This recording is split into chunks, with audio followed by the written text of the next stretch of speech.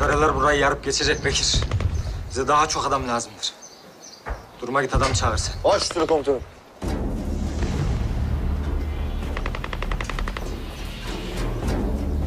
Komutanım.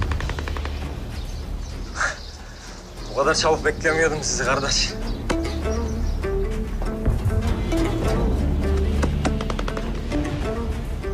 Vaziyetimiz nedir paşa? Kefereler iki gündür bizi çok yordu. Köye kadar çekilmek zorunda kaldık.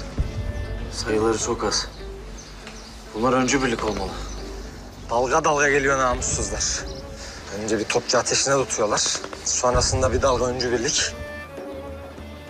Ardından zırhlılarla geliyorlar. Sırtımızı dayadığımız son yer bu köydür.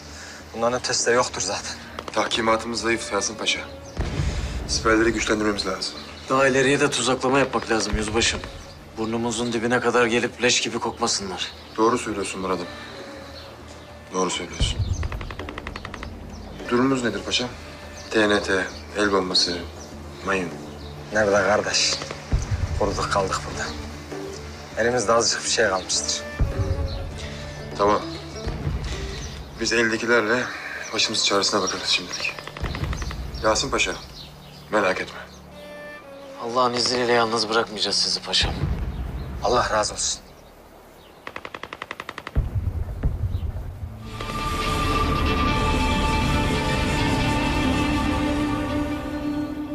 Elimizdeki malzemeler direnmeye, dayanmaya yetmez kardeş. Bizim işimiz çok şükür imdad eden herkese yetişmek. Hani vefalı Türk geldi yine diyor ya başta. Gelirler paşam, gelirler.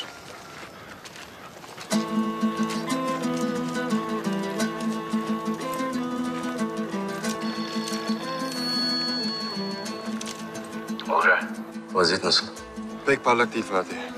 Burada durumlar biraz karışık ama ne yapıp ne edip destek ulaştıracağız. Anlaşıldı mı? Anlaşıldı Fatih. Biz halkı güvenli veri toplayacağız. Siz gelene kadar da vakit kazanmaktan başka çaremiz yok.